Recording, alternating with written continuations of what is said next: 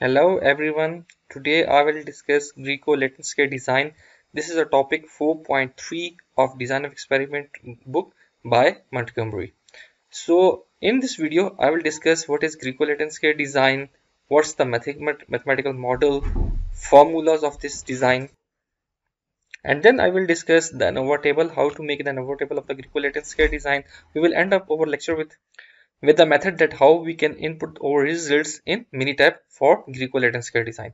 So uh, let's before starting this topic, I will let you know that uh, we have uh, studied uh, in the start about uh, blocking of the nuisance factors. So when we have to block one factor, we will use randomized complete block design. When we have to block two factors, we will use Latin square design. Then we, when we will have to block three factors, then it is Greco Latin square design. So in the earlier in the Greco in the scale design we have discussed a P cross P means a square uh, matrix. Okay, so in this uh, Greco Latin uh, design we will superimpose that design into a new P cross P uh, uh, scale you can say a design with Greek letters. Okay, so we will get a Greco Latin square design. So basically we are imposing two scale designs and these Latin square design when superimposed they become orthogonal to each other. So i'm showing that how uh, the Greco Latin square design look like. So this is the design a 4 cross 4 Latin square design it have four columns and uh, four columns and four rows. So we will get four effects. The effect of the row uh, one factor will be in the row. The effect of column second factor will be in the column. The effect of Latin uh, the effect of Latin alphabets A, B, C, D and the effect of Greek letters alpha, beta, gamma and delta. So alpha over will be treatment uh, effects that will be our main factor while the row 1, row to column 2 uh, row is the first factor, column is the second factor and uh, Greek alphabets are the third alpha or the third uh, factor uh, that we consider it as nuisance. So now we will come towards the mathematical model of this. So each individual value in the Greek letter square design will be equal to the overall mean plus plus theta i. Theta i is the effect of ith row means row number 1, 2, 3 and 4. Then tau j. Tau j is the effect of you can say treatment effect. The treatment effect tau i is calculated by calculating the effect of A, B, C and D Greek uh, uh, Latin uh, Latin uh, letters. Then we will omega k. Omega k is the effect of Greek letters and then saw L. This is the effect of columns okay? And plus epsilon i j k l. These are the residuals or you can say errors. And you can see that i all of the factors four factors i j k l they have same number of levels from 1 to p where p represent the number of levels. So as discussed there will be uh, letter latin letters. So their formula will be uh, first of all i will uh, go uh, move towards rows. So because uh, i will suggest to people to calculate the effect of rows and column earlier because they are quite easy to calculate. So uh, this is some of square formula for effect of rows. So this is why i dot dot dot. It means that uh, takes care the sum of all of the row values. Okay? With the help of example i am telling you this. I have taken example 4.41 from the doe design experiment book by montgomery. So it, the problem is referring to the problem 4.28 again in the same exercise. So here there are order of assembly there are four order of assembly that has been used for the assembly of a product represented by 1 2 3 and 4 so then the second factor these are nuisance factors Always the rows, columns and the Greek letters they will represent nuisance factors. Operator 1, 2, 3, 4. This is the second nuisance factor. Then uh, the alphabets, Latin alphabets A, B, C, D. These are our treatments in which we are interested. Okay. And these Latin alphabet A, B, C, D are over assembly methods. Okay that over some we assume that in uh, Latin square design that over assembly method a b c d these are affected by the operator type and the order of assembly with the extension to uh, you can see uh, to the Greco Latin design we have introduced a four factor and we say that that the workplace type okay the engineers suspect that the workplaces workplace type used by the four per, uh, four workers it represents an additional source of variation. So we are taking our third nuisance factor in this case. Fine? So if I if I want to find the effect of rows so I will take SS rows is will be equal to 1 by p. P means how many rows or column they will be equal. So here it become 4 sum of summation of yi dot dot. So why what will be the values of yi dot dot? It will the value of simply you can uh, you will sum all of the uh, values in the row. You can say 11 plus 10 21 21 plus, uh, 4 25 35 and then plus 4 43 so you will write here 43 whole square. Okay you will write here 4 3 whole square plus. Same as the case you will take the sum of the second row and then you will end up with the summation of the third row. We'll have to take the uh, square of all of the values from starting to minus y dot dot dot 4 times dot. It means that you will have to take the sum of first initially all of these values and then we will divide it we will divide it, those values with n. n is the total number of values and the total, total number of values. In this case we have 16 so this is the way that how we can calculate the sum of square of the rows. Then we will calculate sum of square of the rows. So sum of square of sorry sum of square of the column so sum of square of the column again will be equal to 1 minus p. p is equal to 4. Number of column are equal to 4.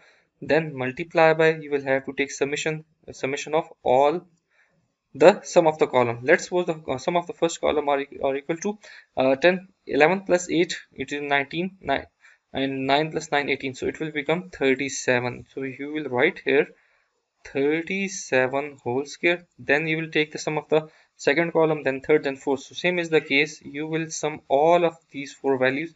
Means you will take the sum of all four. Uh, then you will subtract them from the overall sum. And then again it will be equal to 16 then same is the case. I will write sum of square of the treatment. So treatment will be uh, I will have I will have to take the sum I will have to take the sum of A B C and D. So I will write here first Latin letter. Okay then I will write here. It's sum. So I will I have four Latin letter A B C D. I will have to take the sum of them. Just like A in the first column I will say 9 should with the value. With A is 9 in the second column it is 8 so 9 plus 8 17 then is 10 it will become uh, 27 and then a here is 8 so it will become 35 so you will write here the sum of a equal to 35 same is the case you will write the sum of b. So b is there. B uh, so uh, 8 is associated with the b. So it become 8 plus 10 18 uh, plus 7 25 plus, uh, 6 31 same is the case you will calculate b okay?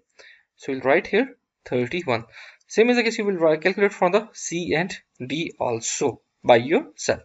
Then what's remaining? We, uh, we it's remaining that we have to calculate about Greek letters. So you will write here Greek G R double Greek letters okay and their sum.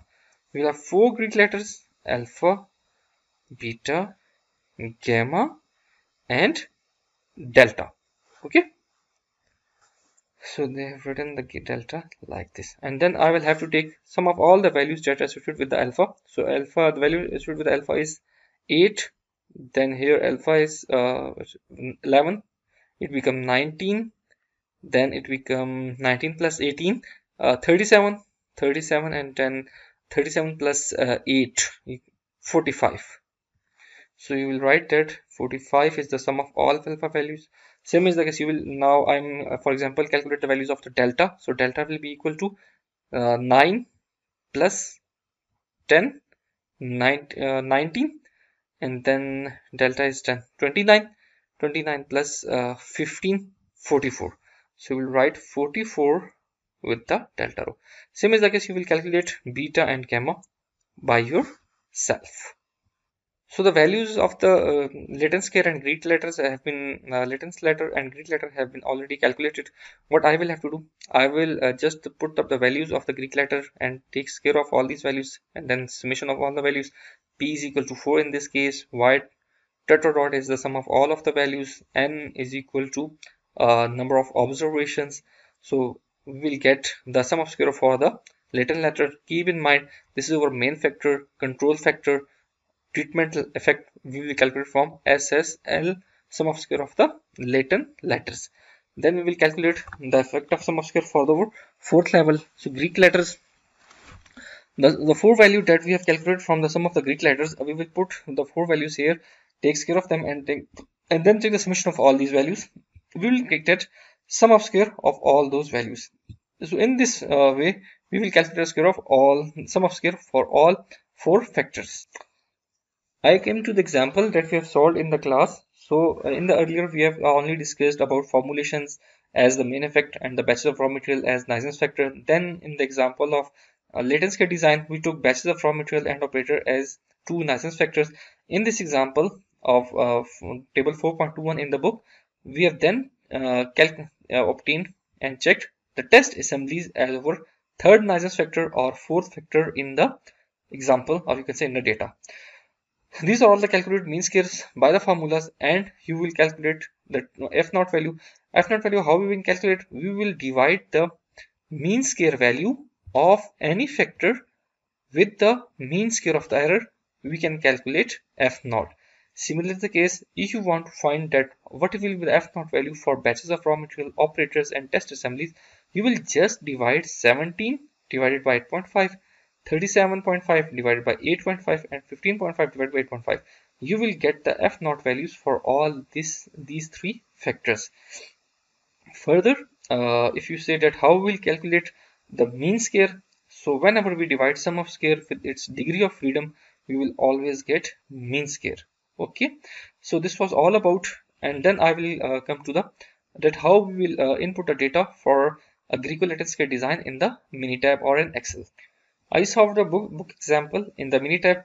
So there are four factor. Factor one order of assembly operator B is uh, you will say the, the, assembly method and uh, A, B, C are Latin uh, Latin letters are assembly methods and alpha, beta, gamma, delta are the workplace type so first of all you will write the uh, you can see row number I have input the order of assembly as first column operator this is the second uh, column and the second factor workplace that has been represented by Greek, uh, Greek letters alpha beta gamma and delta in the third column and the assembly method that is our treatment effect main factor in the fourth column and the outputs or response variables in the fifth column represented by assembly time. So uh, I will explain the first cell. In the first cell, I have obtained 11 minutes when order of assembly was 1, 1 then operator number 1, yep. Then I will set that workplace, where workplace is represented by beta, so beta is equal to 2 and the method 3, so C represents 3 and I got 11 then I will explain uh, you can say six number reading. So this is six number reading. I have this reading when order of assembly was 2 look at this 2 operator number is 2 so C become 2 then workplace method delta delta is equal to 4 so workplace is equal to 4 in the sixth row then I have C C means third assembly method the, I've written uh, 3 in the method column and I got 12 minutes. I hope you got this.